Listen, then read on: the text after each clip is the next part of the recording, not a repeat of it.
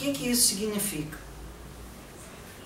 Ao longo do tempo, a nossa mente, no mesmo dia, vivencia situações mais tamásicas, vivencia situações mais sádicas, vivencia situações mais rajásicas.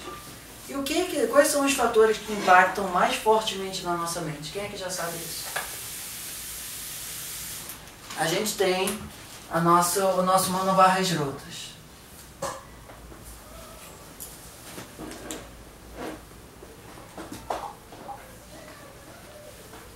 Que é um conjunto de canais que estão basicamente mais focalizados naquela coisa que a gente chama de cérebro. Ok? Mas esses canais estão o tempo todo captando informação. E quais são os fatores que mais influenciam os inputs dentro do nosso manual de rotas? Um? Influencia? Isso. O que, que, o que, que influencia a nossa mente? A, a resposta de um nível mais abstrato é, é todas as impressões é, sensoriais que estão sendo no presente que estão sendo na nossa memória. Tá? Sanskaras. Isso, são impressões. Mas de uma forma mais categórica, existe aquilo que a gente impacta na nossa mente através da nossa alimentação, no sentido de ahara, que é as coisas que a gente come através dos sentidos. Certo? Então, por exemplo, o que eu estou falando agora aqui está tendo que ser digerido na tua mente. Ok? Isso também, em algum grau, é alimentação. Tudo que entra através do sentido. Isso, tá? Porém, existem coisas que impactam na nossa mente por uma questão espacial.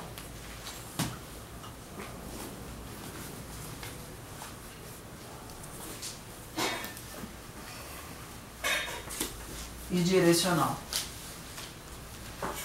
Se você está é, aqui, é, se você está aqui ou no ah, é verdade. Se você está aqui ou no Maracanã, é igual em termos do que, que vai estar tá passando na sua mente? Uhum. Não, porque os sentidos vão estar tá pegando informações diferentes. Mas além disso, se você tiver num lugar que é relativamente parecido, é, um escritório A e um escritório B, em termos de sentido, de eles serem formatados de uma forma igual, mas eles serem em prédios diferentes. Alguém que já teve uma experiência disso gerar um impacto, você fala assim, nossa, esse lugar tem uma energia boa, esse lugar tem uma energia ruim, ou qualquer coisa assim. Os mais vadas falam, com certeza, é claro, etc. Os caras falam, é, acho que talvez, né? já que ele está dizendo, não vou brigar. Mas existe esse aspecto da mente do espaço, onde você está também. Ok? E essa mente é construída através da vibração de todos que passam ali. Isso, também. E aí, por isso... Isso, é, isso mais explicado no módulo 1 de Psicologia Védica, tá? Eu só estou, é, em um certo grau, citando elas aqui está escrito do lado desse? Dig é direção. Ah. Se você está num lugar que está o nascer do sol, e você está olhando para o nascer do sol, o nascer da lua, ou você está virado de costas, você acha que tua mente está minimamente diferente? Sim. Se você está num lugar e você está olhando uma pessoa sendo atropelada, ou você está virando o rosto para um outro lado, você acha que a tua mente vai estar sendo impactada de uma maneira diferente? Sim. Então, a direção que a nossa mente está voltada também tem impacto. E aí, esse estudo é basicamente do Vastu Shastra, uhum. que é o Feng Shui do, do mundo védico. Uhum. Tá? O terceiro é Sangha. Associação com pessoas. Já não é mais lugares. Ok? Ah, sempre que eu fico do lado daquela pessoa, eu começo a me sentir mal porque ela reclama demais. Ah, sempre que eu fico do lado daquela pessoa, eu fico mais, ah, mais feliz porque ela me traz tanto uma sensação de tranquilidade. A pessoa pode não estar falando nada, mas simplesmente a presença daquela pessoa pode impactar a tua mente. Essas mentes se misturam. E essa associação. E tudo isso é identificação. Isso, em algum grau, é identificação no sentido de que aquele evento passa por você, mas você pode falar, hum, estou me sentindo triste. Ou você, aquele evento pode passar e você pode falar, nossa, tem tristeza passando por mim. Então, uma pessoa que começa a se observar mais, ela entra no lugar, ela começa a observar a mudança do fluxo de pensamento que teve dela. Porque ela, antes de entrar, já estava se observando e depois que entrou, viu o contraste. O que, que normalmente acontece com a gente? A gente sente isso, mas não percebe. E a gente reage a isso sem perceber que a gente está reagindo a isso. Porque a gente não está com a nossa presença nesse aspecto. A gente está só marionete de um monte de frequência que está influenciando a nossa mente. Ok? Imagina você como um rádio, qualquer lugar que você transita tem onda sonora já tocando. E você acaba se sintonizando a ela sem perceber. E, uma, e fazendo um julgamento, ah, gosto dessa música, ah, não gosto dessa música, essa música devia estar, essa música não devia estar, e não percebe que aquela música não necessariamente é você.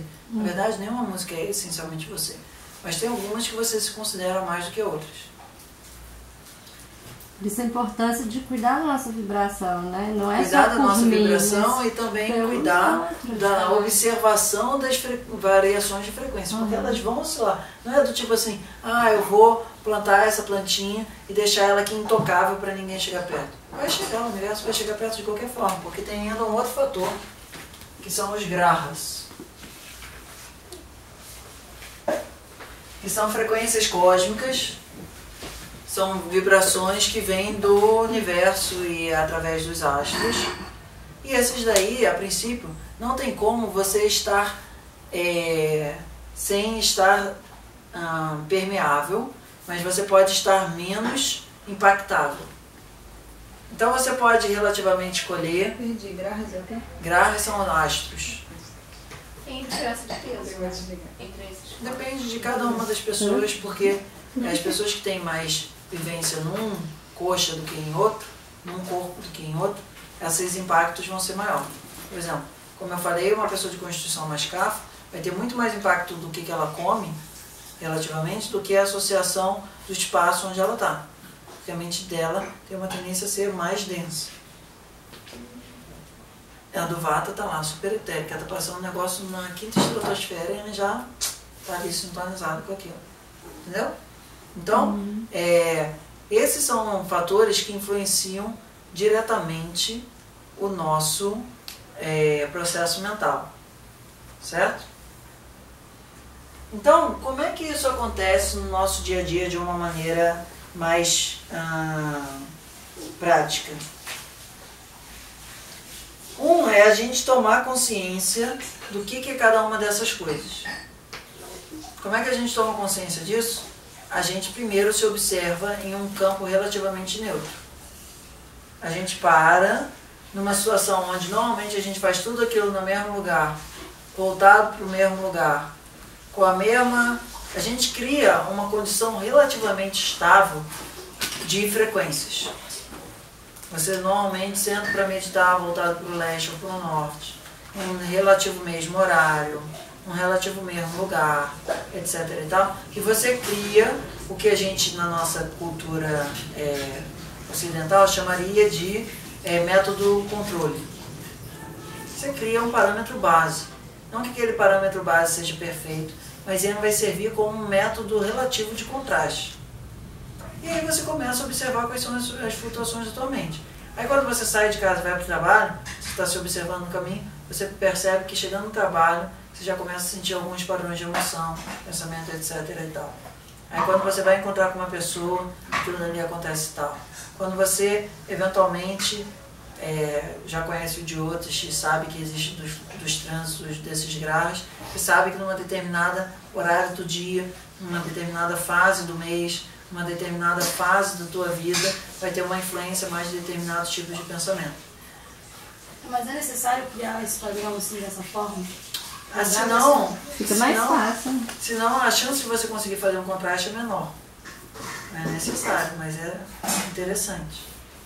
Você começar a saber assim, quais são os padrões de pensamento, sentimento, sensação, emoção que normalmente aparecem no meu sistema sem eu conseguir imputar fatores externos frequentes. Não entendi. De novo. Se você normalmente está fazendo uma prática de auto-observação, pode ser surfar, tá? Não precisa necessariamente ser Tá, meditar. mas aí você botou com clareza. Estou observando. Isso, eu estou fazendo aquilo para me observar, ok? E você normalmente faz aquilo da mesma forma assim. O nível de frequência que vai aparecer ali é uma, uma frequência relativamente estável. Você vai chamar aquilo de frequência base. Não é a frequência que você é, mas é a frequência que você está mais associando você a ser. E aí todas as outras frequências você vai conseguir observar com mais capacidade de contraste, porque você consegue fazer uma comparação. Opa, eu estava com essa frequência assim, ela começou a ficar assado, o que foi que aconteceu? Agora se uma hora está assim, outra hora está assim, outra hora está assado, etc e tal, você não tem nenhum parâmetro base de observação, fica difícil de você perceber o contraste. Todo mundo aqui entende que você só percebe o contraste a partir de uma polaridade? Sim. Então, para você ter uma de polaridade, isso, você precisa de um valor de referência. Certo? E esses valores de referência, na perspectiva do Ayurveda, quando eles se transformam em uma coisa muito tamásica, você começa a ter um problema psicológico significativo. Aí o que, que são esses problemas psicológicos significativos? Depressão, transtorno de hiperatividade, déficit de atenção e hiperatividade, Bipolaridade. bipolaridade. Estresse. Estresse ainda é muito Pânico. pânico, síndrome do pânico, mas o quê? Todos esses distúrbios psiquiátricos. Mas aí, por exemplo, hiperatividade. Porque tá mais que não era letargia? Calma. Eles são, é, quanto mais tamásico vai ficando, mais a pessoa fica desesperada. Hiperatividade vai virar provavelmente alguma síndrome de pânico. Que vai paralisar em algum momento. É. né? É, obsessivo compulsivo. Obsessivo compulsivo ainda está no padrão indo do rádios para o tamas. Certo? Enquanto ainda tem ação e essa ação é miserável, ela é rajásica. Enquanto miserável no sentido de sofrimento. Tá? Enquanto ela, ela desgastou tanto o teu prana que você fica completamente letárgico e exaurido, sem ânimo, isso fica tamásico. Ok?